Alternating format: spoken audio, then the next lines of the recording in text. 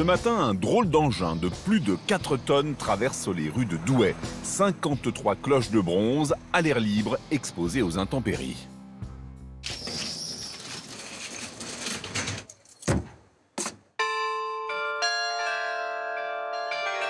Incroyable, c'est un carillon ambulant et à ses commandes, Stéphano. Alors je suis carillonneur, maître carillonneur de la ville de Douai en particulier depuis 1998. C'est un métier qui est assez rare. On connaît plus facilement le piano bien entendu. On a 50 grands carillons en France, dont la moitié dans notre région. Les gens sont très attachés à cette tradition, à leur carillon, les carillons, une tradition née il y a près de 600 ans dans les Flandres, région avec peu de relief et beaucoup de vent, deux facteurs qui favorisent une meilleure propagation du son des cloches. Chaque fois que vous voyez une cloche, vous voyez une note. Vous voyez que la cloche est plus grosse, donc elle a un son plus grave, et la cloche est plus petite, elle a un son plus aigu. Et dans les Flandres, chez nous, dans notre région des Hauts-de-France, on aime cette, résonance de cloche. Bernard est un autre amoureux de ce patrimoine, mais il n'est pas musicien, il restaure les carillons. Mon métier, c'est artisan campanaire. Je travaille dans les campaniles.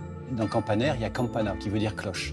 Et euh, le campanile, c'est le lieu où on met les cloches. Et c'est dans la région de Campanie, en Italie, où on a commencé à mettre les premières cloches en hauteur pour sonner les angélus. C'est le pape Urbain II au XIIe siècle qui eut l'idée de créer la sonnerie de l'Angélus et de monter des cloches en haut des édifices importants, églises et beffrois. Dans le nord, le bronze ainsi perché souffre de l'humidité. Alors là, Richard euh, est en train de décrouter les cloches. Il fait un nettoyage, il enlève la calamine et l'oxydation du bronze. C'est important parce que la cloche résonne mal. Donc il faut libérer la résonance de la cloche en enlevant cette croûte qui est dessus. Euh, elles vont résonner beaucoup mieux et on va avoir toute l'harmonie musicale. Quand on aura plusieurs cloches, ça va être très agréable. Même le carillonneur va retrouver la musicalité de son instrument. Le mot carillon vient du chiffre 4, car les premiers instruments de l'histoire ne comportaient que 4 cloches. Aujourd'hui, il peut y en avoir plus de 50. Il y a eu euh, dans le passé une surenchère en fait. Une ville avait 5 cloches dans son carillon et on a voulu en faire 6 euh, dans la voisine et faire plus. C'est comme ça qu'on a eu des ensembles en fait de cloches de plus en plus importants et on a eu la nécessité de recentraliser les commandes parce qu'au début les cloches étaient frappées avec des maillets en bois mais quand il y a énormément de cloches on ne peut pas courir d'une cloche à l'autre donc on a centralisé les commandes avec un clavier. C'est ainsi qu'est né le carillon en tant qu'instrument. Les cloches, elles, ont pour mère patrie la Chine et sont apparues il y a 4000 ans.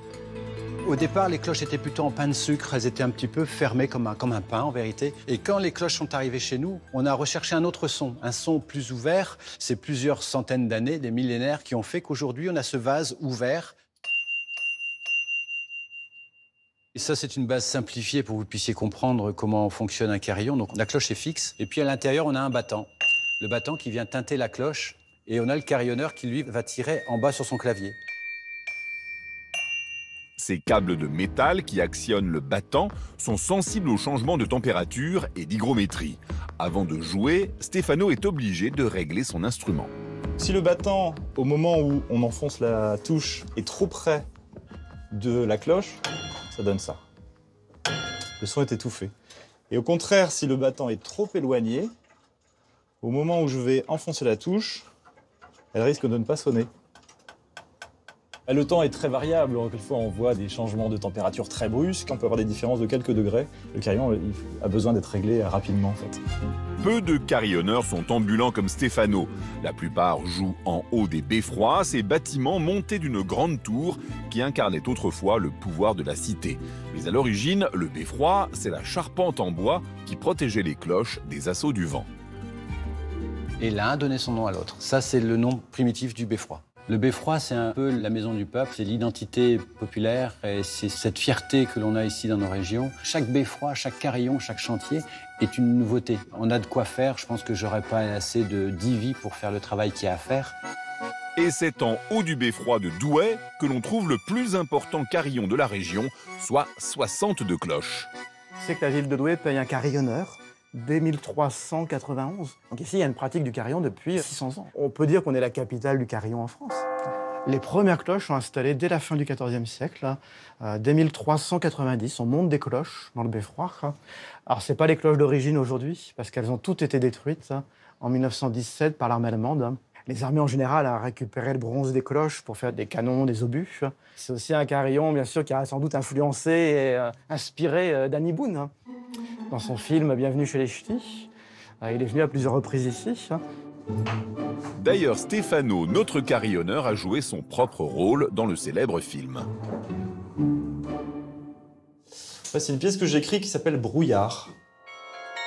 En haut de sa tour, c'est aujourd'hui sous un ciel gris que Stefano fait profiter toute la ville de Douai de ses mélodies. Le carillon, comme tous les instruments de musique, est un moyen d'expression. Alors c'est un instrument qui demande un investissement physique aussi important, qui implique tout le corps en fait. Le carillon est un instrument qui est peu et mal connu, donc chaque carillonneur devient un petit peu un ambassadeur et permet au grand public de connaître cet instrument.